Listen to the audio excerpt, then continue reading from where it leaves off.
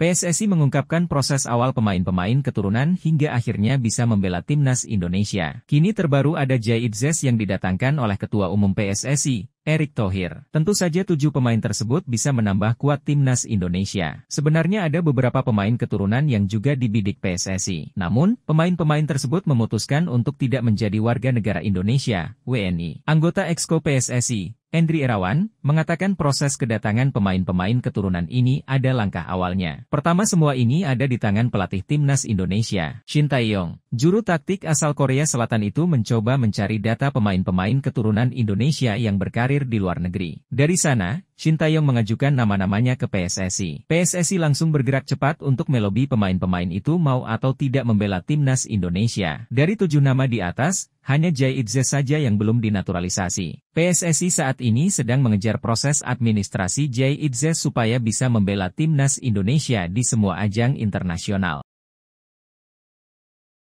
Terima kasih sudah menonton. Silakan subscribe, like, dan jangan lupa komen di bawah ya bola spotter.